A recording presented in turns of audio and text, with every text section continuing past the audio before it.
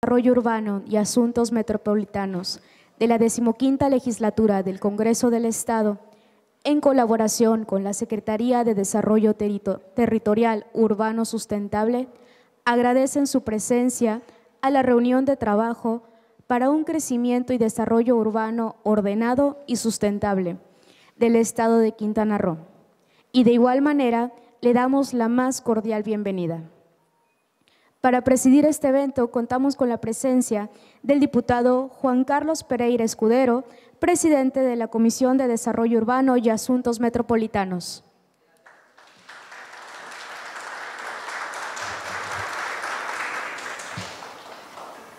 Nos acompaña la doctora Erlinda del Socorro Silva Pot, subsecretaria de Ordenamiento Territorial y Regularización de la Tenencia de la Tierra, en representación del arquitecto Carlos Ríos Castellanos, titular de la SEDETUS. Bienvenida.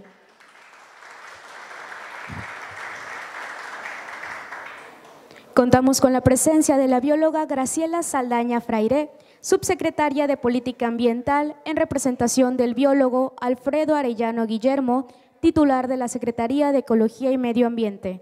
Bienvenida. También se encuentra con nosotros el consultor Víctor Ramírez Navarro. Bienvenido. Queremos agradecer la presencia de los, asistentes que se encuentran acompañándonos esta tarde, así como de los representantes de diferentes desarrolladores inmobiliarios, Colegio de Profesionistas y cámaras empresariales del Estado. Sean todos bienvenidos. A continuación, el diputado Juan Carlos Pereira Escudero nos dirigirá unas palabras de bienvenida.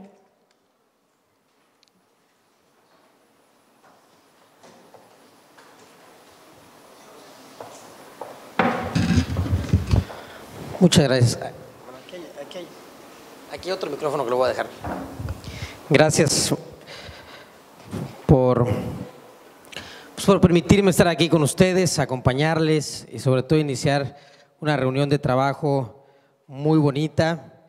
Quiero agradecer su presencia a Erlinda Silva, gracias por estar aquí con nosotros.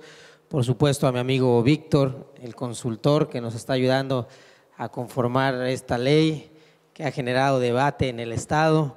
A mi amiga Graciela Saldaña, gracias también por estar aquí acompañándonos. Quien hace rato me decía, eh, y platicábamos en corto, pues que la discusión es buena, porque al final de cuentas lo que hace es pulir, mejorar las cosas, eh, que se entiendan más lo que nosotros estamos plasmando en ese documento y pues siempre generar debate hace que las cosas puedan mejorarse y llevarse a mejor puerto, que esta es la idea de, de esta ley. Entonces yo quiero dar las bienvenidas a todos ustedes, a quienes nos nos acompañan de, los desarrollos inmobiliarios, al Colegio de Arquitectos, está la CEMIC, la Canadevi, la Canaco, Colegio de Ingenieros, este, creo que es el director de Desarrollo Urbano igual del municipio de Solidaridad, de, perdón, de Otompe Blanco, ¿quién es? Bienvenido. Eh, a todos ustedes, gracias por, por estar aquí, por acompañarnos. Esta es una reunión de trabajo, me va a tocar a mí inaugurarla, perdón por hacerlos esperar hace rato un poquito. La realidad es que estamos en sesiones en el Congreso, me salí de una sesión de, comisión y ahorita tengo que regresarme a sesión del Pleno, si no me ponen tacha. Entonces la idea era inaugurar esta reunión, darle el banderazo de salida a la zona sur, que es eh, lo que nos falta recabar del lado de ustedes para poder ir perfeccionando esta ley. Allá en el norte del estado este, ha sido bien debatible, hay muy buena participación. Tenemos ahí a los biólogos, sin a la presente, este, ahí debatiendo fuerte con nosotros. Y bueno, es una ley que viene, a mi punto de vista, respetando el de cada quien, viene a mejorar el crecimiento urbano de Quintana Roo. Eh, que a muchos no les gusta, pues, tal vez, porque el, ordenar, el voltear a darse cuenta que Quintana Roo ya no es el mismo de hace 40 años y que no podemos estar con las mismas leyes de hace años y que no podemos estar quienes se quejan de la corrupción, fomentándola con lagunas legales que existen en la actualidad. Bueno, la idea es crear un marco jurídico, uno, para homologar a la Ley General de Asentamientos Humanos de la Federación, que es nuestra obligación aquí en Quintana Roo hacerlo, y dos, también generar un documento que ponga la vanguardia en materia urbanística a Quintana Roo y que podamos hacerlo en conjunto y que podamos trabajarlo los tres órdenes de gobierno, ver cómo lo enlazamos sin olvidar el tema sustentable, sin olvidar el medio ambiente, en fin, muchas cosas que hoy nos permiten eh, poder poner en un documento y armar algo que realmente beneficie a Quintana Roo. Yo le he pedido a mi equipo, por favor, para que ustedes me ayuden a que así sea, a que independientemente de esta reunión sigamos trabajando a puerta cerrada, dándole seguimiento a cada una de las observaciones que ustedes nos tienen.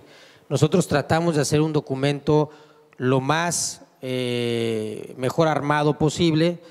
Todas las leyes en el país siempre son perfectibles, aún aprobándola, va a haber temas que siempre vamos a tener que estar reformando y que vamos a tener que estar actualizando y poniendo en actualización de lo que el propio Estado nos vaya exigiendo en materia urbana y en materia ambiental.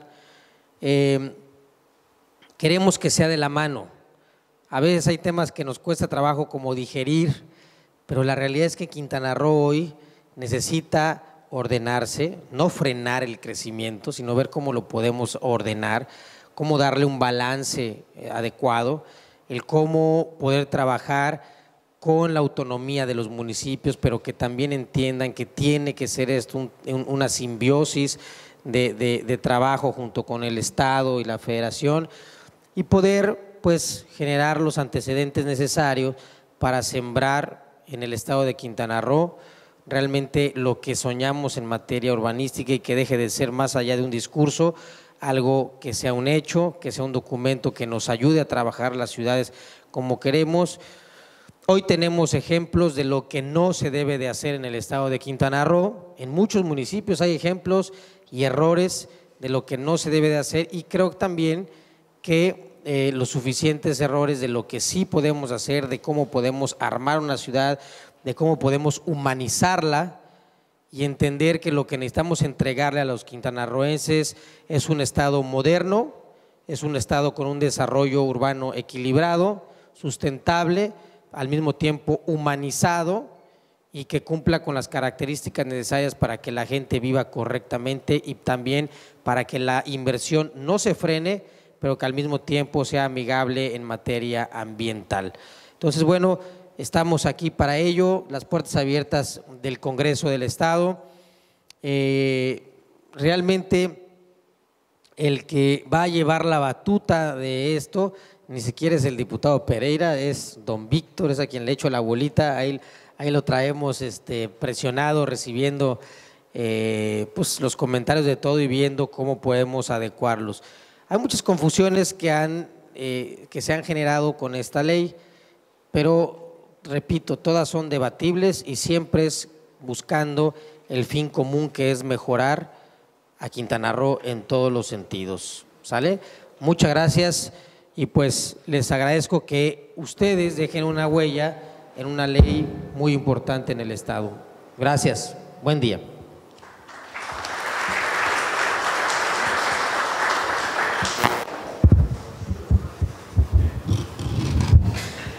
Muchas gracias, diputado. Contaremos con un mensaje por parte de la doctora Erlinda del Socorro Silva Pot. Gracias. Pues buenas tardes a todos, buenas tardes, eh, diputado. Muchas gracias por esta apertura. Estos, estas mesas de trabajo que se han estado realizando dan continuidad a los trabajos que, iniciaron el año pasado.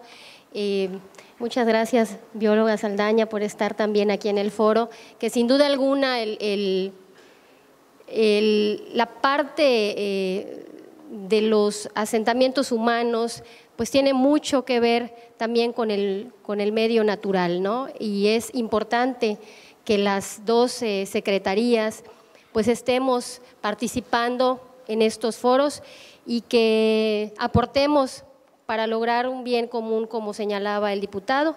Igualmente, eh, abogado, muchas gracias y gracias a todos los que están aquí por su interés en estos foros. Quiero comentarles, con el permiso, diputado, de ustedes, que el año pasado estuvimos iniciando con algunos trabajos previos a, la, a esta propuesta de reforma integral urbana. Estos trabajos iniciaron en unos eh, foros que se hicieron en tres partes del estado, en Cancún, en Chetumal y en Playa del Carmen. Y dentro de estos foros participaron distintas personalidades, distintos grupos de profesionistas, así como asociaciones civiles.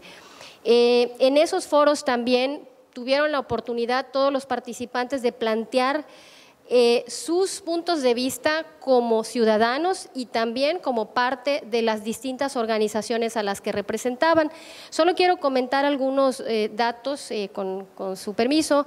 En Chetumal se hizo un foro en el tecnológico y se contó con 56 participantes.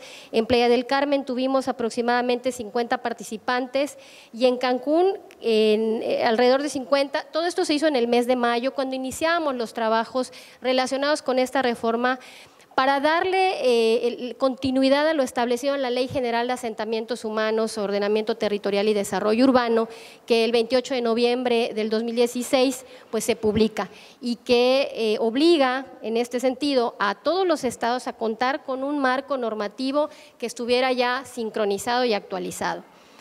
Como también ha señalado eh, el diputado, esto es una innovación, esta reforma integral urbana presenta aspectos que probablemente causan un poco de, polémica o que pueden no ser del agrado de, algunos como ciudadanos. Eh, sin embargo, muchos de los instrumentos que estamos viendo actualmente en el país están también tendiendo a esta actualización. Yo creo que este proyecto busca esto, que el Estado esté a la vanguardia. Recordemos que el Estado tiene regiones con una marcada diferencia y esto puede contribuir a que estas diferencias se puedan minimizar en beneficio de un desarrollo económico. Por otro lado, también es eh, importante que todos eh, los ciudadanos tengan esta oportunidad de seguir aportando elementos para que esta reforma pueda ser perfectible y que podamos avanzar en, un objetivo común que a final de cuentas pues es Quintana Roo, eh, contribuir, como señala el Plan Estatal de Desarrollo, en este eje 5, que es un crecimiento ordenado y con sustentabilidad.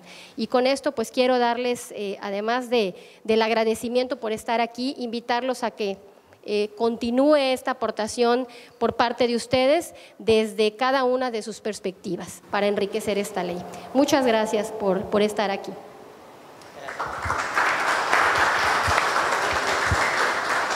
Gracias, doctora.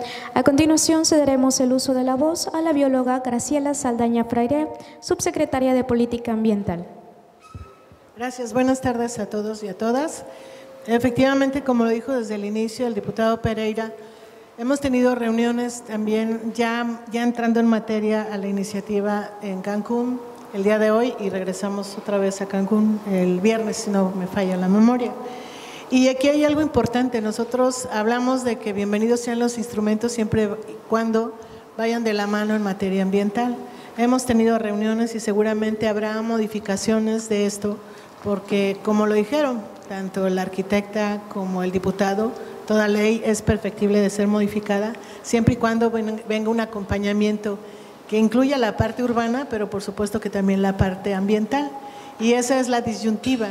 Me parece que lo comenté también desde el inicio, cuando hablamos de discusiones o debate, eso no, es, no está mal, sino es más bien discutir, es llegar a un acuerdo de que haya un acompañamiento, pero sobre todo que en su aplicación sea para lo que realmente necesitamos. Un desarrollo urbano, pero también con un acompañamiento ambiental, porque aquí lo que ha faltado en el transcurso de la historia del Estado de Quintana Roo es el respeto a la normatividad de ambos. Entonces, eh, no es, es cuanto lo que yo quería aportar, porque efectivamente nosotros tenemos leyes generales, lo dijimos en el foro en Cancún, leyes generales que también las tenemos y que las contamos, Entonces, aquí tenemos que ir a acompañamiento de los tres niveles de gobierno. Muchas gracias.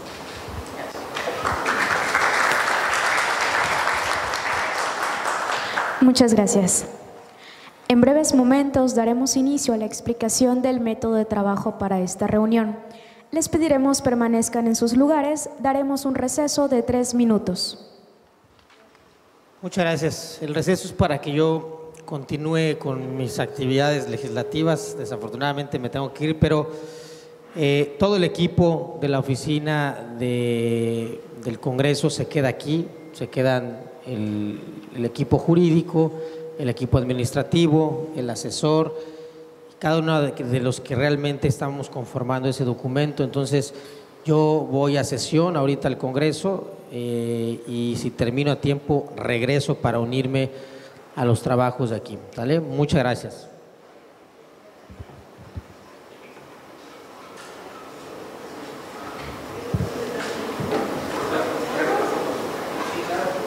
Tardes a todos, mil gracias por su presencia. Eh, ya refirió eh, la arquitecta Linda Silva los eh, antecedentes. Muchos de ustedes ya nos hemos visto en otras reuniones de trabajo y en ese sentido quiero, antes de dar el método de trabajo, celebrar la apertura que ha tenido el gobierno del Estado. Yo creo que la manera en que se ha producido esta iniciativa que hoy se discute en el seno del Congreso del Estado es un tanto insólita. Hace un año, como bien se se mencionaba, se empezaban a hacer una serie de reuniones de trabajo, de recibir documentos y aportaciones muy valiosas de parte de muchos de ustedes. Y en ese sentido, no es una ley que se impone, es una ley que se quiere consensar, que tenga las mejores eh, posibilidades, obviamente sujeto al marco normativo que impone la Constitución y la Ley General de la materia. En ese sentido, este, me congratulo pues con esta posición de apertura no solo del gobierno para integrar eh, los estudios correspondientes, sino también de, obviamente, del Congreso, para, en especial el diputado Pereira, para abrir a un escrutinio abierto eh, este proyecto. El proyecto no es inédito, ya lo tienen todos ustedes, ha estado a la luz pública desde su inicio, inclusive en su conformación se ha ido modificando con muchas de las aportaciones que ustedes han hecho. En ese sentido, pues, eh, no vamos a hacer ningún tipo de exposición de un proyecto que, insisto, ya lo tienen ustedes, ya lo conocen, lo han discutido, inclusive han sugerido propuestas de cambio muy interesantes. Y en ese sentido yo abriría la participación, lo, que quisiéramos es oírlos a ustedes y no reiterar nosotros presentaciones que ya hemos hecho. Por ello, nada más sujetaría yo a tres condiciones las participaciones. Quiero comentarles que se está grabando, que se está levantando una minuta para que quede constancia, no solo de lo dicho, sino de los acuerdos que eventualmente pudieran generarse. Este, y eh, esta minuta se les hará llegar este, para que precisen eh, enfoques y participaciones. En este sentido, pediría yo tres, primero las presentaciones, si fueran tan amables toda vez que se está grabando, digan su nombre y o institución en la que participan. Eh, y tres condiciones, que sean intervenciones breves para permitir mayor participación, dos, que sean pertinentes, es decir, que vayan enfocados a la temática del proyecto, y tres, que es algo básico en cualquier diálogo, que es un eh, respeto en eh, eh, las expresiones. Bajo estas tres condiciones, que creo que son muy fáciles de cumplir, abriría la participación a los que ustedes quisieran este, decir, aportar, criticar, eh, enmendar, este, que para eso estamos, con mucho gusto, si fueran tan amables. No sé quién quiere arrancar. Quedan disponibles los micrófonos para el uso de la voz, para lo cual solicito levanten la mano para hacer uso.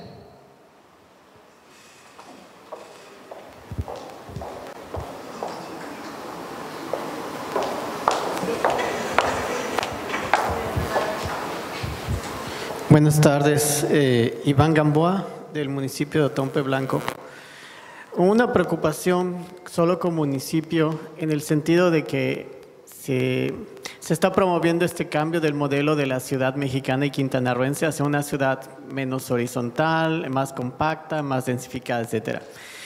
Mi preocupación sería, desde el ámbito municipal, que en esta nueva ley la forma de cálculo para la área de donación, donde eventualmente el municipio va a ubicar esos servicios y equipamientos, no siga ligada únicamente al tema de la superficie, porque en una ciudad donde vamos a tener o van a empezar a aparecer complejos de vivienda ya en forma vertical, vamos a tener en menos superficie, vamos a tener más habitantes y posiblemente incluso en ubicaciones intraurbanas, no en la periferia. Entonces, si no identificamos una mejor manera de cómo puede solucionarse esto que yo propondría que a lo mejor estuviera relacionado con la cantidad de viviendas, eh, posiblemente tendríamos un tema en que si bien estamos yendo hacia el modelo deseado de ciudad,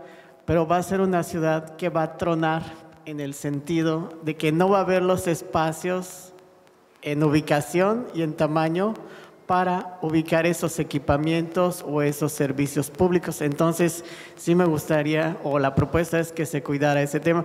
Y la otra es una inquietud eh, muy particular de nosotros, porque pues prácticamente tenemos eh, a punto de salir en imprentas del, del, gobierno del estado el programa de desarrollo urbano de Chetumal. Entonces, eh, tengo la inquietud de qué va a suceder con este PDU que ha llevado a su vez seis años de estarlo trabajando y actualizando. Y no sé, a lo mejor un mes después viene la, la ley nueva. Gracias.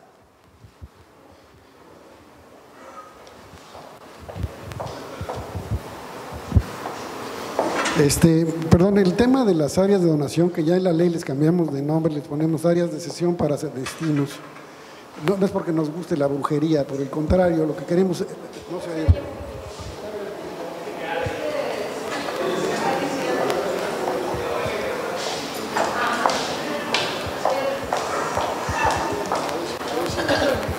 A ver si con este mejoramos. ¿Sí se mejora? Bien. El tema de las áreas de donación que no les llamamos así en el proyecto, sino áreas de sesión para destinos, obedece no a una idea de meterle magia a un tema con denominaciones exquisitas, sino lo que busca es evitar una interpretación constitucional que estuvo a punto de echar por la borda todas las áreas de donación en el país. La Suprema Corte estuvo a punto de darle la razón a una promoción de una, de una, serie de amparos, donde decían, básicamente el argumento jurídico era que las donaciones son actos voluntarios y en el caso de las donaciones motivo de fraccionamientos no había nada de voluntario en ellas. Entonces, por eso cambiamos la denominación y quitamos la palabrita de donación y le pusimos áreas de decisión para destinos. Tiene ese propósito de evitar y robustecer la capacidad de gestión de los municipios para evitar que les vengan a decir ese tipo de cosas ¿no? y ese tipo de argumentos. Ese es el primer tema. El tema de las proporciones me preocupa. Si me muevo, a lo mejor si me muevo para Perdón. Perdón. Es que se está viciando. ¿Dónde está la, bocina? Perdón. Ahí, está ya. A ver. Este, el tema, el tema de, de, de los porcentajes de donación Sí sería muy interesante que las densidades, el número de viviendas pudieran ser un criterio indicador. El problema es que a lo mejor una fórmula de ese tipo estaría premiando ahí donde no queremos premiar. Es decir, si tengo pocas viviendas, si tengo viviendas residenciales, en vez de tener áreas grandes de donación voy a tener menores. Y aquí estaríamos rompiendo un principio de proporcionalidad. Si tengo más, pago más. Entonces mi preocupación es que a lo mejor una combinación de ambos pudiera ser afortunada, pero una sola, la de densidad, me aterraría, porque quiere decir que un, desarrollo residencial va a donar mucho menos que una vivienda de interés social, popular o demás. Entonces, e, ese es el peligro. Por eso es que sentimos que era más eh, justiciero el asumir una proporción única para vivienda, que desde luego es diferente en los usos industriales que para la vivienda. Pero aceptaríamos con mucho agrado este, algo que pudiera ponderar este criterio en función a las densidades, siempre y cuando no rompa esta lucha contra la desigualdad que viene implícita al asumir un porcentaje parejo. Me acuerdo mucho que lo propusieron, en especial Otompe Blanco fue uno de los municipios que, hace ratito lo comentaba, y sí, sí, hicieron su tarea, leyeron el proyecto de cabo a rabo y en cada artículo hicieron comentarios, muchos de los cuales los incorporamos. En ese sentido, este, la actitud responsable y crítica que asumió el municipio es un ejemplo que me da mucho gusto podérselos compartir. Sus opiniones fueron de primera. Este, lo que pasa es que no en todos casos pudimos atenderlos, como en este. Lo del PDU. Eh, estamos previendo un artículo transitorio eh, en donde estamos, primero, no vamos a desvirolar nada de lo que se ha construido. O sea, es ilógico que por pretender un nuevo esquema, un nuevo mecanismo, desvirolemos lo que ya tenemos. Es decir, todos los planes y programas de desarrollo urbano y ordenamiento ecológico y de cualquier otro tipo que se hayan autorizado permanecen vigentes hasta que no lo sustituyan con una disposición adicional, que es todos los planes tienen una vigencia indefinida hasta que no venga y lo sustituya, para evitar que de repente tengamos vacíos de, planeación. Siempre debe haber un plan normando la ocupación y uso del territorio. Esa es la fórmula que estamos implementando.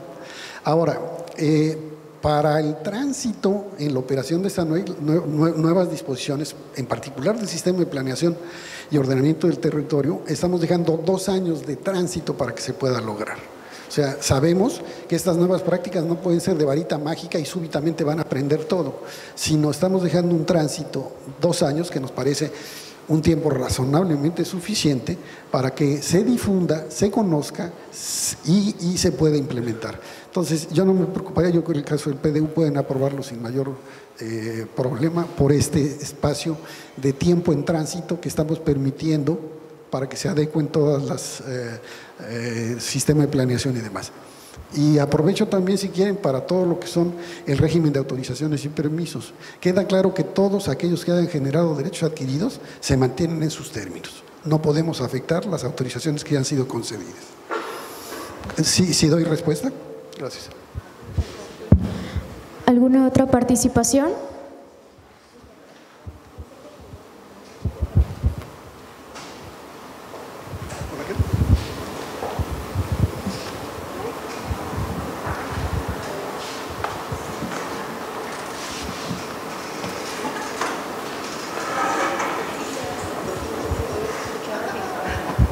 Muy buenas tardes. ¿Soy bien? Mi nombre es Humberto Vidal Rusi, vengo representando a la Canaco, pero mis preguntas van, voy a tratar de ser lo más puntual posible en relación al tema de la responsabilidad de los peritos responsables de obra que señala la ley en varios artículos. En el artículo 13, en el enunciado 14, habla de peritos responsables de obra. Hoy los reglamentos vigentes, al menos en Otompe Blanco, hablan de directores responsables de obra. Entonces, la primera pregunta es, ¿por qué el cambio de perito a director responsable de obra? Eh, en ese mismo tenor, hablando de la responsabilidad de las construcciones del desarrollo urbano, fuera el perito o el director responsable de obra, en el artículo 183 dice, eh, los peritos responsables de obra serán garantes solidarios con los propietarios estrictamente en base a ley, que quiere decir garante solidario contra exclusivamente responsable de obra. Em, el artículo 185 de la misma propuesta de ley que habla sobre las funciones del perito responsable, en su apartado cuarto dice planear y supervisar, y supervisar medidas de seguridad del personal y terceras personas en la obra en colindancias y la vía pública durante su ejecución. En mi opinión, eso no es una responsabilidad de quien debe de garantizar la, que el proyecto cumpla con la ley, los reglamentos y la normatividad vigente en su materia. Esto corresponde más bien a una especie de supervisor o coordinador de los trabajos que el propietario o constructor decida hacer dentro de, su proceso de obra. Entonces es una inconformidad a lo que plantea aquí como un, director responsable de obra.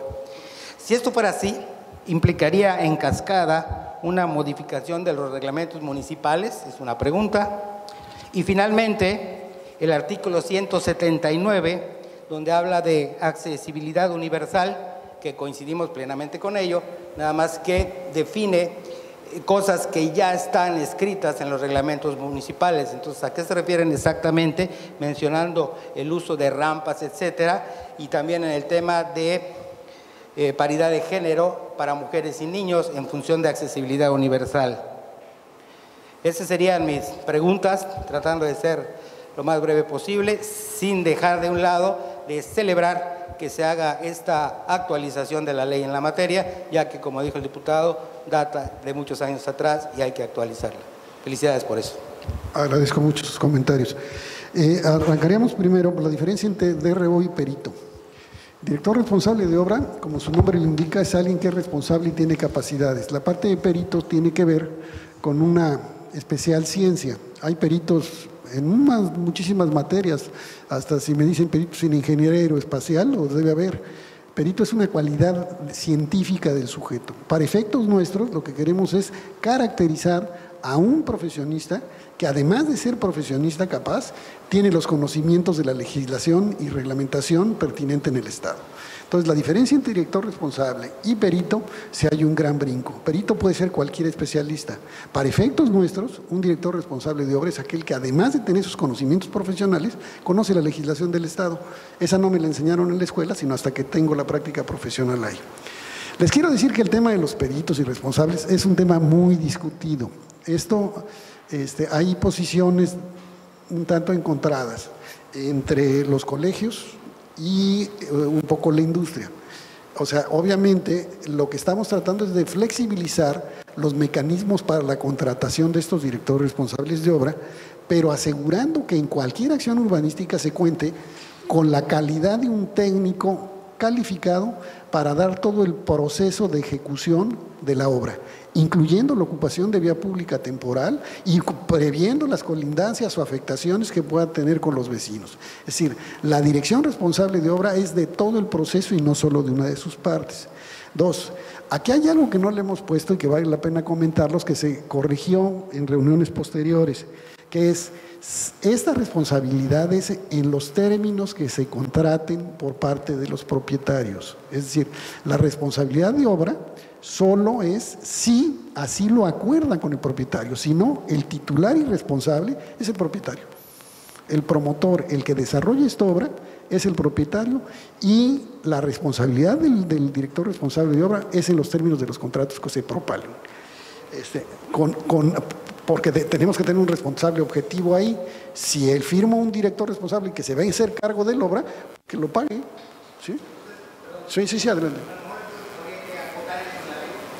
Lo dice, perdón, es que no tienen el último proyecto, pero ya le pusimos la parte de los términos de los contratos que se celebren. ¿eh? Sí, e, ese es uno. La, otra tiene que ver con eh, eh, si, si, esto significa modificación a los reglamentos de construcciones, sí, categóricamente sí. Las leyes están por encima de los reglamentos y en ese sentido los reglamentos deberán adecuarse a la lógica de la ley y tendrán que actualizarse en estos rubros.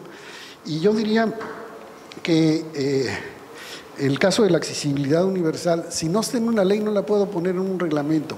Tenemos la mala costumbre, y esto es lo que quiere dar la ley, de hacer la cobertura legislativa de todos los aspectos del desarrollo urbano, son 13 títulos distintos. Si no está en la ley, yo no puedo reglamentarlo. Los reglamentos en el país, por el principio de legalidad, tienen dos condiciones. Cualquier abogado me, puede eh, ratificar lo que estoy diciendo, pero tienen un principio que se llama de subordinación y todo de reserva. Todos los reglamentos no pueden ir ni en contra ni más allá de la ley, pero tienen que subordinarse a la ley. Si no dice accesibilidad universal como un tema regular por parte de los municipios, no lo pueden hacer. Entonces, el propósito temático de la propia ley es abrir esa posibilidad de regulación posterior por parte de los municipios. Pero tiene que estar dicha. No, no importa que se repita. ¿eh? Sí, por favor.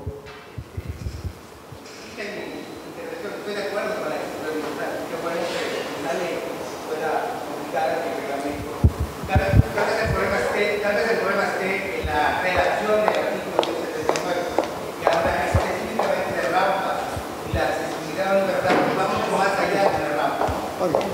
Estoy de acuerdo, totalmente de acuerdo.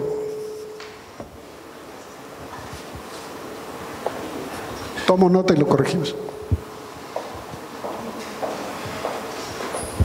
Nuevamente Iván Gamboa del municipio Tompe Blanco. El tema de la movilidad que lo introduce la ley general. Y eh, al introducirlo la ley general, digamos que nos vincula por primera vez las áreas de desarrollo urbano de una forma más clara y tangible con este tema, pero en específico yo me voy al caso de los sistemas de transporte porque, o de la transportación pública que forma parte de la movilidad. ¿Cómo se va a aterrizar en nuestra ley estatal, no sé, esta participación de las áreas de desarrollo urbano, no sé, en la planeación, el diseño, eh, en temas de que tienen que ver con el transporte público, de los que pues tradicionalmente hasta el momento hemos estado, pues digamos, ajenos, ¿no? Porque Generalmente en todos los municipios, o en la gran mayoría de los municipios, pues hay un área de desarrollo urbano, hay un área de transporte público, pero ahora la ley, desde la ley general, pues está haciendo esta encadenación de que ya el la movilidad y el transporte público no puede verse separado de, lo urbano, ¿no? Entonces, ¿cómo se va a aterrizar? Ah, el tema de movilidad ha tenido un enorme auge recientemente, en los últimos años al grado de que más de una de las organizaciones más importantes que se dedican a esta materia en el país ha planteado un nuevo paradigma para mí profundamente equivocado, que le llama desarrollo orientado a la movilidad. Y perdón, es al revés. ¿sí? La movilidad es un instrumento del desarrollo y es un instrumento de la política urbana. En sí mismo no tiene importancia, la mejor movilidad es la que no tengo. Si tengo enfrente el súper y la escuela a un lado, mi movilidad va a ser maravillosa porque no necesito desplazarme en medios de transporte público. Entonces, aquí eh, es poner y realinear a través de una serie de principios que va por adelante. La planeación urbana debe y, subordina las políticas de movilidad. No es al revés. ¿sí? Entonces, esta es una de las primeras conversiones importantes que tiene el tema. Dos, establece una serie de principios que orientarán las políticas de movilidad, pero no la suple, ¿eh? perdón. La ley de movilidad puede cursar, porque la ley de movilidad se va a encargar de regular cuáles son, no sé, desde la generación de, de, los medios de transporte y su regulación, aspectos de tarifas, de horarios, de rutas, de vehículos, de permisionarios, etcétera. Todo eso está en la ley de movilidad. Lo que la ley reclama es de que las políticas atingentes en esa materia consideren calles completas, consideren diferentes modos de transporte, consideren accesibilidad universal, reflexionen sobre este, rutas, medios, modos. Es decir, lo que está haciendo es que la planeación urbana debe ir por delante de los proyectos de movilidad. O sea, no, es al revés. Perdón que lo diga, pero este, el nuevo aeropuerto de la Ciudad Internacional de la Ciudad de México, tiene un efecto regional de grandes dimensiones, yo diría que hasta nacional, este, no estaba considerado en ningún plan. Entonces debería de ser al revés. Primero la planeación lo considera y luego hago mi, mi terminal, en este caso aeroportuaria, pero puede ser de otros tipos. Entonces lo que queremos es hacer relevante el tema de movilidad subordinado a la lógica del ordenamiento territorial y de la planeación. Entonces yo creo que ahí nada más hay principios, si ven no hay ninguna disposición que diga cómo se van a otorgar las concesiones, ¿no? O sea, o sea, eso no nos toca, eso le toca a la ley de movilidad y en ese sentido solo son principios que orientan y que deben orientar las políticas de movilidad subordinada al ordenamiento del territorio.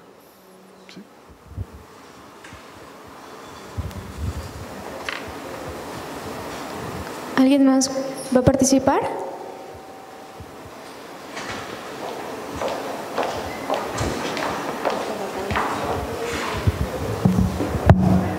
Buenas tardes. Eh, Roger Rodríguez, eh, yo vengo, eh, yo soy de la Canadevi, de la Cámara de la Vivienda en el Estado. Este, bueno, yo la verdad, primero que nada, quiero pues decir que estuve en el foro de Cancún y ahora en esta ocasión que estamos aquí en Chetumal, pues solo he ido dos participaciones, pero han sido puntuales y objetivas. La verdad es que eh, me parece excelente que las participaciones sean hablar sobre específicamente los temas que han estudiado y leído de la ley, ¿no? Ando, este, digo, eh, quiero hacer unas reflexiones nada más. Realmente mis puntos de vista de la ley los he expresado a lo largo de los 18 meses más o menos que hemos venido trabajando al respecto. No mi punto de vista, el punto de vista de nuestro sentir. Hemos encontrado eh, eco en varios de ellos y también no hemos encontrado eco en otros tantos más, ¿no? Más sin embargo, eh, creo que estamos ante una gran oportunidad ahorita, como decía también el arquitecto Humberto, de ponernos, eh, enfrentar esta batalla, enfrentar este momento y generar este nuevo marco legislativo que tanto falta nos hace al Estado.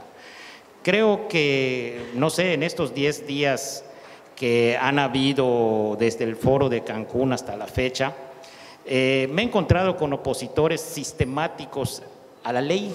O sea, no encuentro la razón por la que están oponiéndose. O sea, digo, me hablan de, eh, ¿cómo se llama?, controversia constitucional, de eh, amparos, cosas por el estilo, pero ¿cuál es el artículo que te afecta? ¿En, qué, en dónde podemos trabajar para, para avanzar, ¿no? Para dar esos pasos adelante, ¿no? No quedarnos entonces es mejor, digamos, el marco legislativo que tenemos hoy de 35 años de antigüedad, parchado, obsoleto, lleno de vacíos. Digo, yo creo que no debemos de oponernos sin, sin ser específicos, como estamos encontrando en este foro.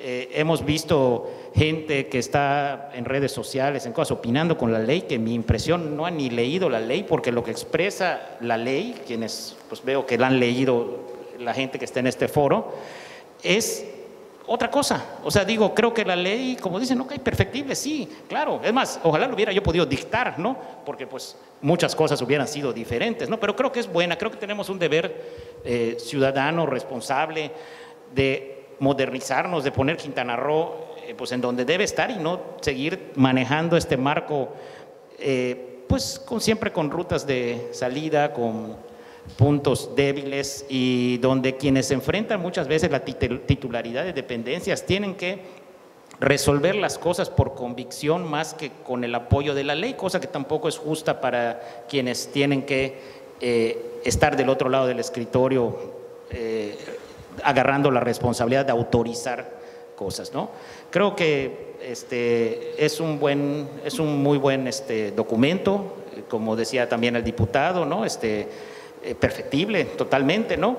Y creo que también debemos de pensar eh, nosotros de que como ciudadanos nos quedamos, es una ley que tiene que ser útil para todo el Estado, es una ley que tiene que ser válida en Cozumel y tiene que ser válida en Chetumal. No podemos particularizarla, es una ley general y pues bueno, este Creo que para eso hemos tenido oportunidad de trabajar. Nunca había yo visto una ley, eh, y eso lo destacaron mucho también en el foro anterior, que vaya y venga tantas veces para que los ciudadanos sigamos trabajando sobre ella, ¿no?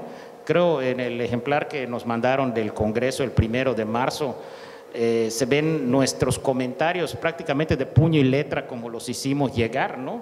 Y puestos a consideración, o sea, digo, eh, el auténtico, ahí está lo que dice y lo que tú quieres que diga, ¿no? O sea, todavía no, no, digamos, no vais a pensar que esto sea aprobado, sino nada más son las visiones, las posiciones. Creo que es un trabajo transparente, abierto, y la verdad creo que la responsabilidad la tenemos todos, porque pues, nosotros aquí estamos, no nos vamos a ir, tenemos muchos años en Quintana Roo, digo, yo no nací acá, pero pues sí, creo que me siento como parte de, de, de este estado y, y pues creo que debemos de trabajar con objetividad, con seriedad y ciudadanamente, sin intereses más allá que estos. Gracias.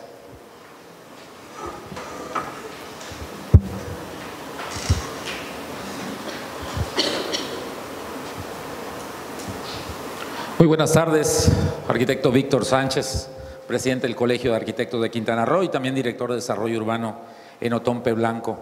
Primero que nada, felicitarle, consultor, por este ejercicio abierto para que pudiéramos opinar con transparencia sobre lo que estamos o no estamos de acuerdo. ¿no?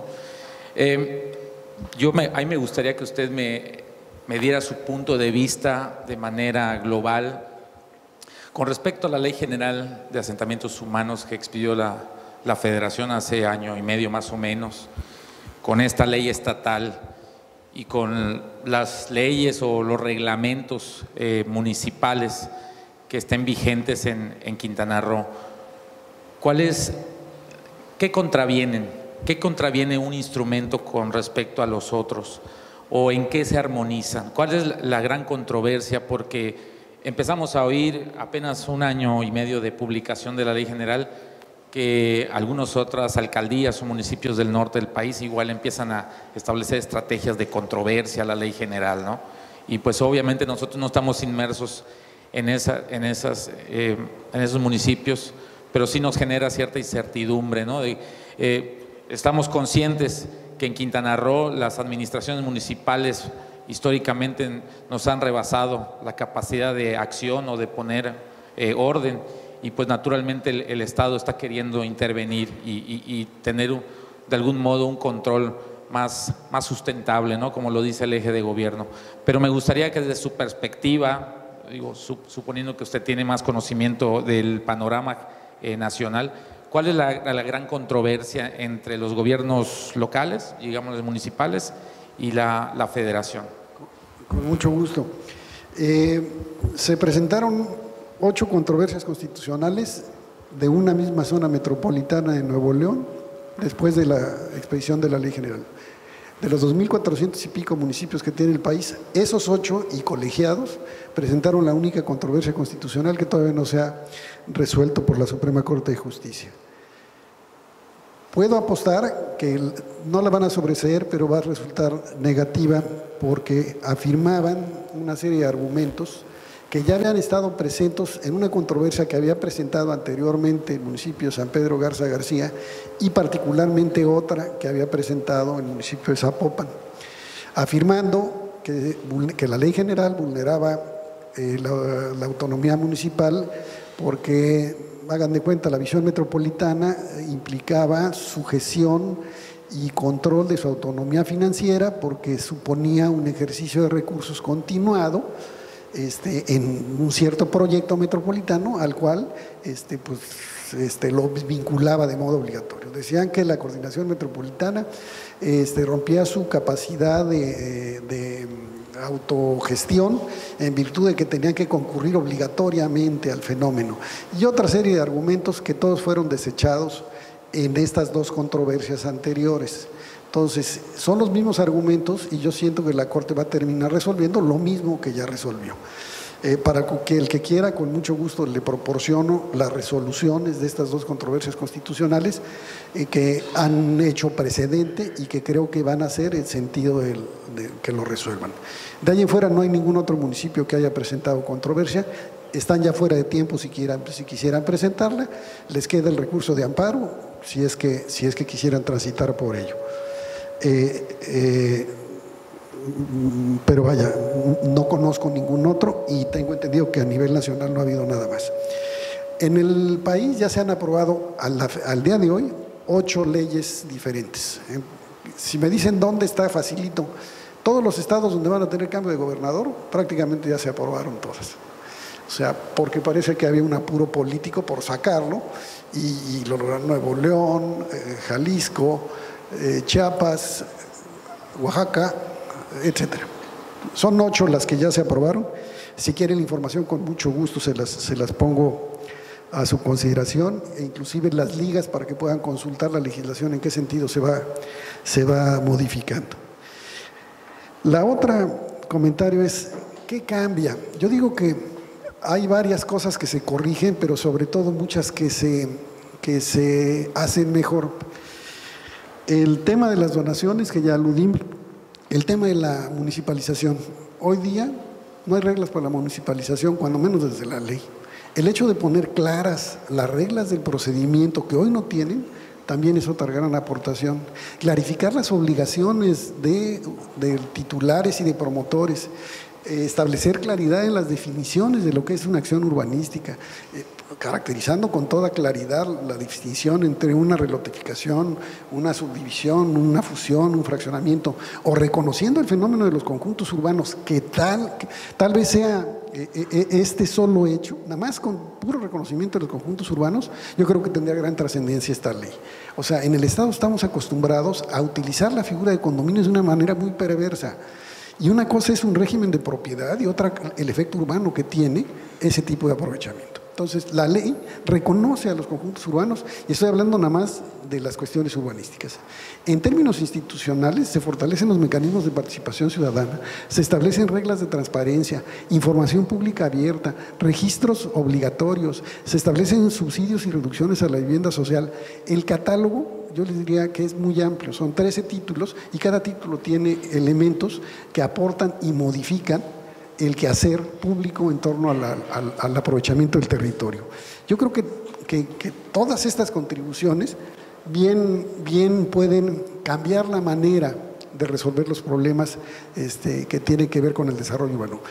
No es una varita mágica, ¿eh? y lo he dicho, no es, no es, ya llegó la ley y todo va a cambiar y vamos a ser felices. Nunca, nunca hemos pretendido tal cosa, pero yo creo que es un buen principio ordenar a las instituciones, ordenar a los gobiernos, alinear los instrumentos de planeación con que se cuentan, establecer y dotarlos de nuevos instrumentos este, que está considerando el nuevo proyecto, puede ser un muy buen arranque para ir empezando con un cambio que tanto requiere el Estado.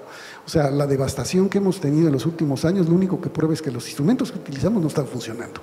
O sea, díganme ustedes el centro de población que quieran y ahí van a estar las acciones de devastación, de crecimiento irregular, del desorden, de la injusticia, de la segregación. Entonces, yo diría que como lo venimos haciendo no es una buena receta. Provocar este cambio, generar esta conciencia, este consenso en torno a las instituciones que tenemos que darlos, es un tremendo paso adelante.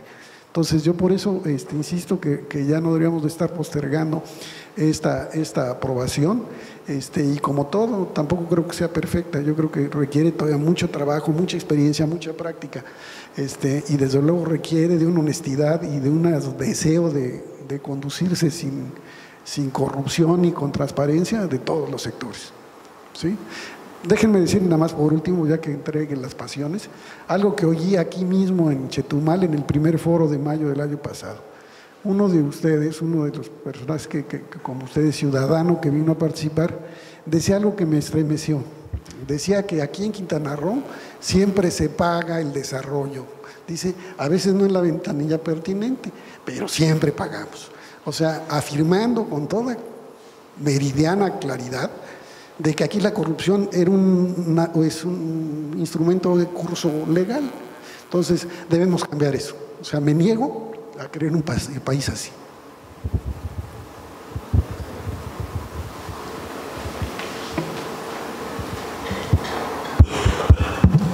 Hola, buenas tardes al foro. Soy el licenciado Ergil Barrios. Eh, vengo en representación de la Procuraduría de Protección al Ambiente del Estado a cargo del ingeniero Miguel Ángel Nadal Novelo. Nada más unas apreciaciones en cuanto a proceso, son, son cuestiones de proceso legal. En el tema de medidas de seguridad, eh, no se establece puntualmente cuáles son los supuestos bajo los cuales se va a dictar la medida de seguridad. O sea, no, eh, ya ha sido muy clara la Corte de que tiene que haber supuestos sobre los cuales debe de establecerse, supuestos de hecho que deben actualizarse. También tiene que establecerse, obviamente, los mecanismos por los cuales se va a levantar esa medida de seguridad, los cuales el particular o el, organismo de gobierno tiene que acatar para que se levante. También vi que por ahí eh, hay un tema de... Eh, eh, no se establece realmente temas de remediación o de compensación por acciones que no debieron realizarse. Medidas correctivas también. El tema de medidas correctivas es muy importante. Al ser una norma al ser una norma que se establece sobre tres pilares, ecología, economía y desarrollo social, debe de establecer medidas correctivas de urgente aplicación para que se acaten. El tema de recomendaciones, a lo mejor a los municipios, recomendaciones, recomendaciones a los ayuntamientos por el incumplimiento o, o el desacato de estas normativas. Y había uno más. Ah, el tema de a lo mejor manejar un padrón de infractores por el tema de reincidencias. Es una norma que va a generar eh, bastante revuelo, resistencia y va a haber definitivamente personas que entren dentro de estos supuestos. O sea, van a incumplir la norma, incumplir la norma y valdría la pena manejar ahí un tema de, reincidencias o un padrón para el tema a lo mejor de mitigar esta situación. A lo mejor es una idea bastante, este, no sé, fuerte, pero valdría la pena a lo mejor este, no dejarlo en el tintero, sino platicarlo. Gracias. Este, todas muy pertinentes. Ok, vamos a, vamos a, vamos a, seguir el, el comentario y hagamos los supuestos voy a tomar las mejores prácticas sobre esto y ponerlas, no, no, hay ningún problema, me parece muy pertinente y de esta manera estamos fortaleciendo los procesos de, verificación de la autoridad. Me sí, parece, porque si no en los amparos van a caer. Nos van a zumbar, de, acuerdo, lo, lo, hago propio y lo corrijo, nada más, eh, perdón, el caso del padrón de infractores me da, me da cosa, porque eh, si yo ya cumplí mi, mi infracción, ¿por qué sigo en el padrón? Ah, evidentemente se bajaría el padrón. o sea, me, cuesta trabajo lo del padrón. Las demás las compro. ¿eh?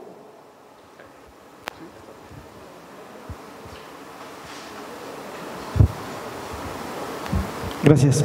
Buenas tardes. Soy Jaime Quiñones del Colegio de Ingenieros Civiles Zona Sur. Y si quisiera eh, abundar un poco lo que comentó el arquitecto Vidal, que se definiera exactamente qué es responsable solidario, porque no hay una definición exacta, no se podría tener alguna ambigüedad ahí, que quede acotado de qué es un responsable solidario. Y también si finalmente van a quedar como DRO o como peritos, o sea, porque entiendo que perito es más universal o un experto, pero en el reglamento dice que somos directores responsables de obra, entonces ahí nomás definir cómo va a quedar. Y respecto a los artículos, el 128 dice que quedan prohibidos en la entidad los asentamientos humanos irregulares. Eso eh, está muy bien, pero el 129 dice, cuando por excepción procede la regularización de la tenencia de la tierra para su incorporación, se sujetará a las siguientes disposiciones. O sea, primero cerramos la puerta y luego la dejamos entreabierta. ¿no? Entonces, eh, si lo dejamos así, pues va a quedar como, como está ahorita. Primero invaden, luego regularizan y ya se vuelve pues una eh, aprovechando muchas circunstancias, regularizan la propiedad y pues ya se vuelven regulares, ¿no? Entonces, así como está, pues va a seguir igual, no va a pasar nada, o sea, invaden, viene la política, lo regularizan y se vuelve, sigue habiendo el mismo problema, ¿no? O cerramos la puerta o lo dejamos abierta, ¿no? Habría que ahí definir. Gracias. Es un tema sumamente polémico. Hay, hay, hay quien afirma que debemos ignorar el fenómeno y decir se prohíbe y se acabó. Y por secularum, todos los vecinos que se encuentran en esa situación se quedan en esa situación. Hay quien afirma que sería esta posición tan categórica, estaría dejando de lado gente que ha sido engañada y que a lo largo de su historia también ha tenido procesos de incorporación de su trabajo para mejorar sus condiciones de vida. Entonces, este, eh, yo, soy de la segunda posición. ¿eh? Este, yo creo que sí hay eh, eh, situaciones donde el gobierno del Estado tiene que atender por los niveles de gravedad, por lo masivo, por las evidencias del crecimiento, este, procesos de atención al, poblamiento irregular.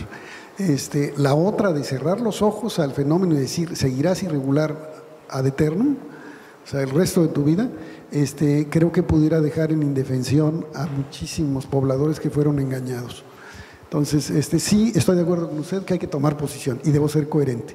Si los prohibimos, no tiene por qué permitirse después. Entonces, habría que, hacerlo mucho más coherente. ¿sí? Pero, insisto, en la segunda de las posiciones. Cuando haya interés público, yo creo que el gobierno sí puede actuar para enderezar los entuertos que cometieron los pobladores irregulares.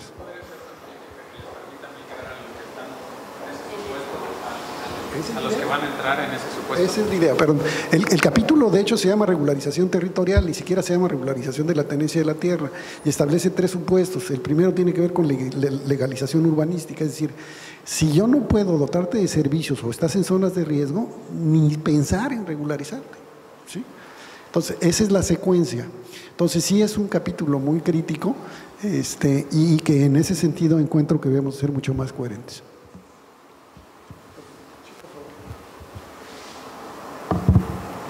Bueno, sin, no es la intención crear polémica en ese sentido, pero yo creo que el artículo cuando habla que cuando por excepción, habría que definir con mucha claridad esa excepción, no sé si en una ley reglamentaria o etcétera, porque si no, los profesionales de la invasión van a encontrar el camino para hacer excepciones cada que esto sea conveniente. ¿no? Completamente de acuerdo. Creo que esa puede ser la solución. ¿Sí? ¿Cuáles son las hipótesis de excepción? Ahí donde sea, hay un interés social evidente, ahí donde por las condiciones de consolidación no puedo hacerme de otro lado, ahí donde ya me están demandando condiciones de servicio abrumadoras, pues este, es como la luz, caray. O sea, la, la luz se la ponen a quien sea porque si no se la roban. ¿Sí? Sí, continuando con el tema de la regularización territorial, una preocupación, al menos como ocurre actualmente la regularización de asentamientos, particularmente el tema de la propiedad. En estos momentos pues tenemos sobre todo instituciones federales, el registro agrario y particularmente el CORET, que pues en su momento hacen estos procesos, viene la otorgación de los títulos y ok, el tema de la tenencia de la tierra quedó resuelto, pero no el hacer ciudad, o sea, porque ¿quién va, el problema que sucede ahorita, bueno, el tema de la propiedad ya está, pero ¿quién va a hacer la urbanización? ¿Quién va a introducir los servicios? Ese es, pues es una realidad, al menos aquí en Otompe Blanco, posiblemente en muchos otros municipios, de que como que es, queda incompleta el tema de la regularización, solo se resuelve el tema de la propiedad, pero sigue peloteándose el tema de la infraestructura, de la urbanización, etcétera. No, no, no, arquitecto, perdone. Este, échele un ojito de nuevo, por favor, al capítulo. Y el capítulo arranca precisamente con la primera sección que es regularización urbanística. Y tiene que ver con estas condiciones de impulsar procesos de mejoramiento urbano. Es decir, no entiendo ni, he pensado que la regularización puede ser un fenómeno de, otorgar títulos. Eso lo hacía Coret. O sea, la regularización debe arrancar por una mejora efectiva de las condiciones de vida de la población asentada, no con su título. Su título es parte del proceso, pero es más importante ver que no esté en riesgo, que tenga servicios mínimos, etcétera. Perdón, y, así está armado el capítulo, inclusive si lo leen, esa es la secuencia. ¿sí? Arranca primero lo más importante y lo que hay evidente interés público tiene que ver con la regularización urbanística, es decir, que tenga condiciones de servicios y que evite riesgo. O sea, eso es, ahí arranca. Luego, ya si, si, si es necesario, le entramos a la regularización de la tenencia de la tierra, que es el segundo de los fenómenos, pero no siempre. Yo, de hecho, visto desde la política pública, lo que me interesa es de que hagan ciudad su título, pues es una bronca del que les vendió, man.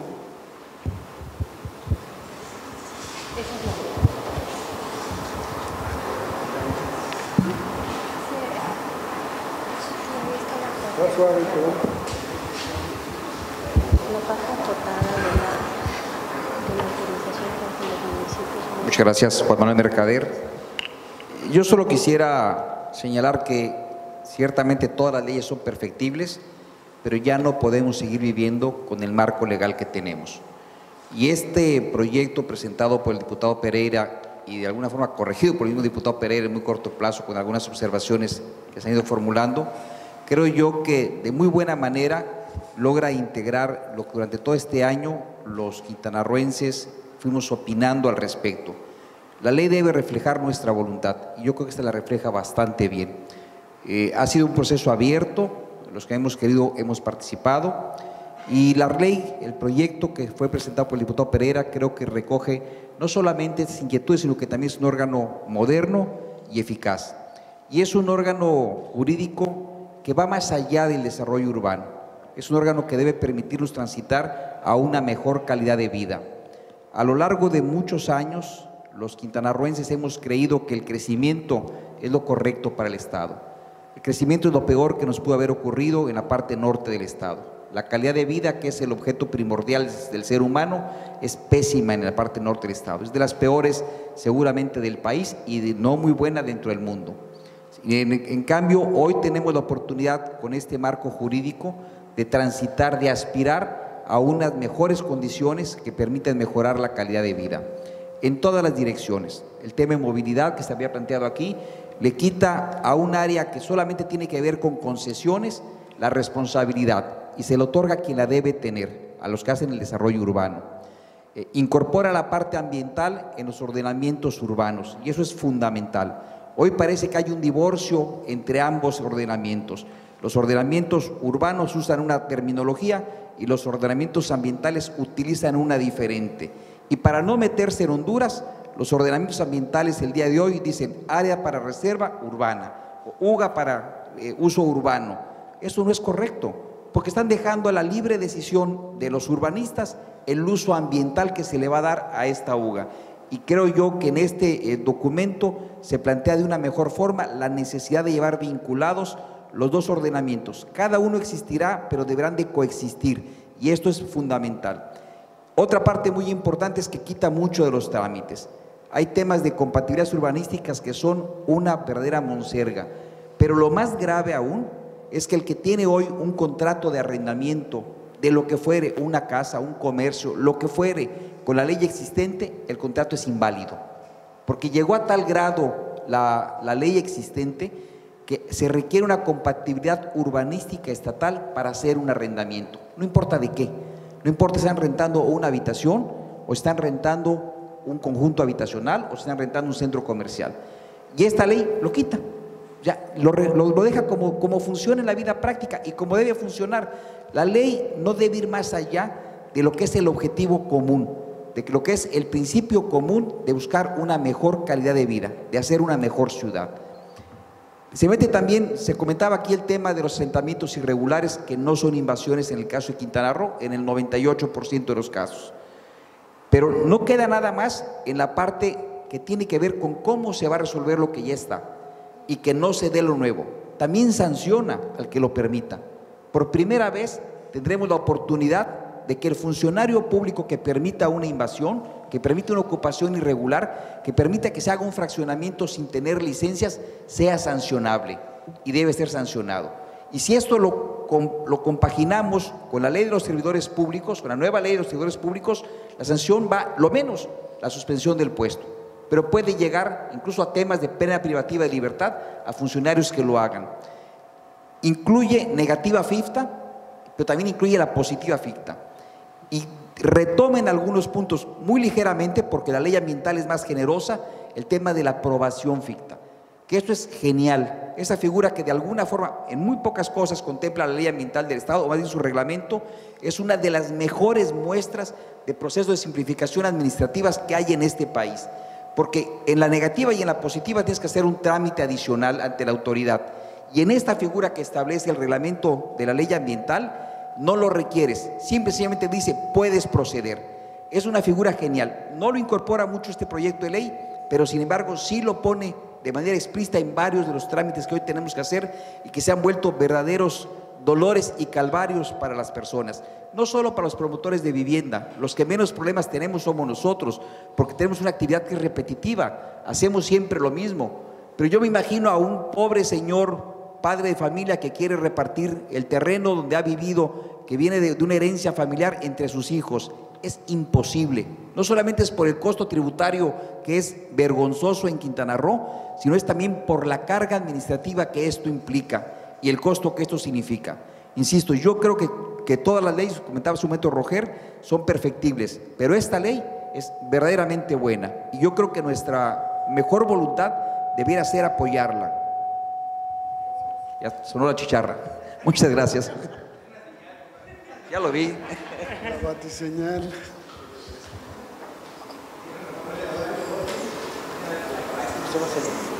¿Alguien más? Allá atrás. Yo, yo tengo una duda de, de las versiones que se, se han estado revisando, ¿no? Este, nosotros hoy conocimos, o bueno, una, una versión que ya tiene cambios, entonces, valdría la pena eh, en este proceso de consulta eh, poder ir analizando o visualizando las modificaciones que se van haciendo en, la ley, ¿no? Para que las participaciones o los próximos talleres ya no sea eh, repetitivo este, en algunas dudas o cuestionamientos que pudieran tener los participantes, ¿no? Entonces, eso sería bueno ver la forma de cómo poder tener acceso de la gente que participa en esos talleres de la versión, digamos, este, final antes del, taller, ¿no? Me, indica, me indica la, la, arquitecta que el día, ¿cuándo? El día... Este, ah, voy a contestar, bueno, no contestar, sino nada más señalar. El, el primero de marzo se les envió a todos los integrantes del Consejo de Ordenamiento la última versión, que fue el corte hasta el 28. El año pasado, antes de que subiera al Pleno, se entregó en la sesión, la segunda sesión del Consejo. Ajá. No era eso lo que preguntabas, nada más es la aclaración.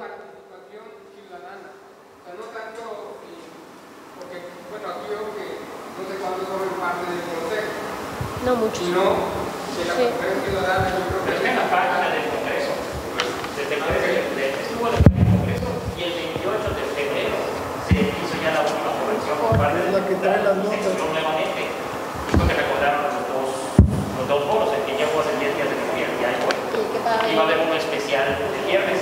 Con eso se cierran los foros, ¿no? Y ya pasa al Congreso. Bueno, teóricamente quedan escuchadas las Pero Robert, coincido con el biólogo, porque tiene cierto que hacer una consulta del abogado, ¿verdad?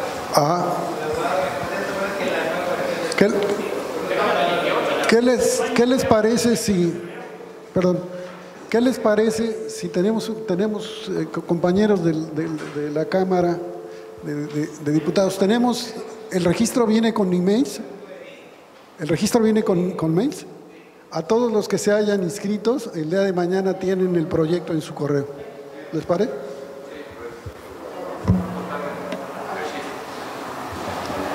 Es la versión, la, la última. Es la última. Este, Salvador, no. sí, no, nada más, ¿eso era o, hablabas de la comparación, de la evolución? No, ah,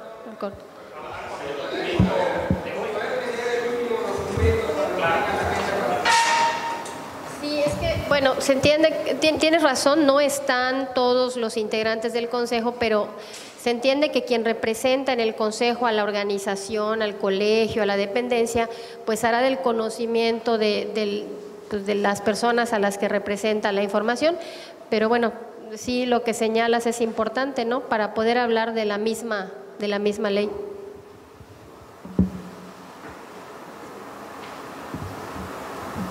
Pues de, mi- nadie más.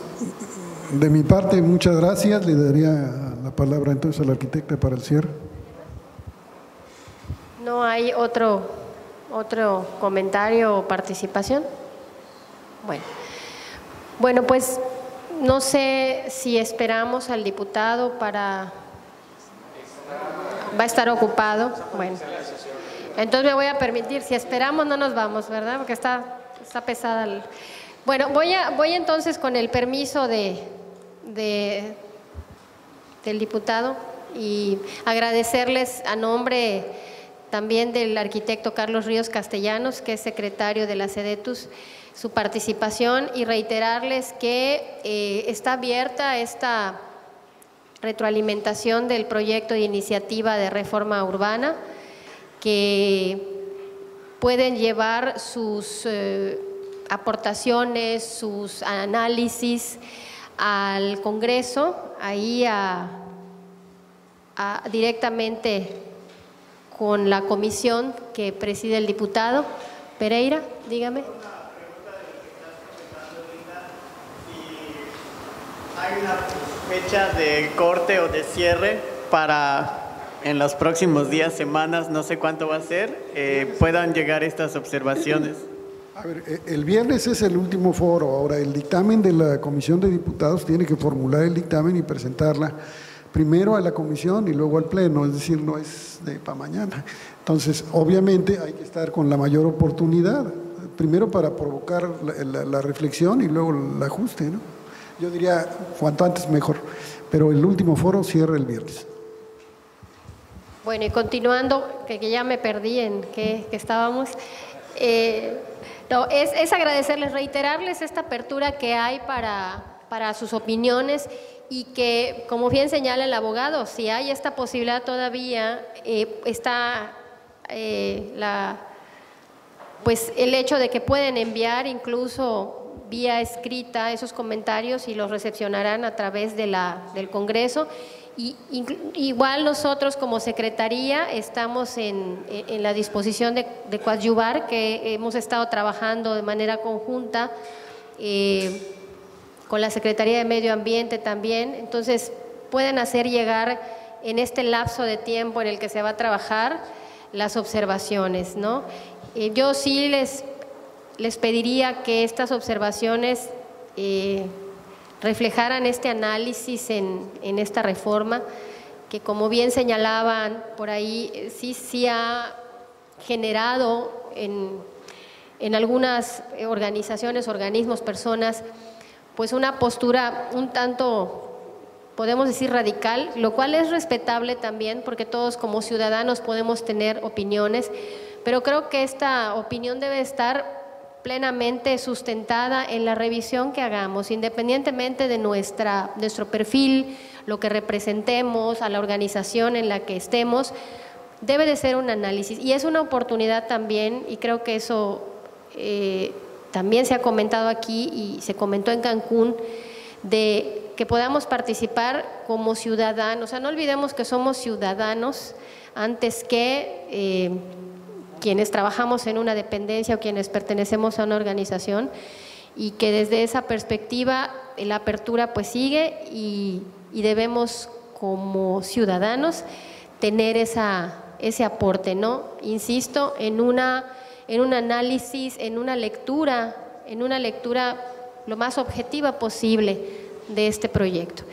Y bien, pues agradecerles nuevamente esta participación. La bióloga Saldaña tuvo que retirarse, tiene que eh, viajar a, Cancún, eh, pero bueno, ella estuvo aquí, está también interesada en estas aportaciones, que las escuchó de parte de ustedes. Y pues está la puerta abierta para que en este periodo puedan ustedes contribuir. Les agradezco. Muchas gracias por su participación y buenas tardes a todos.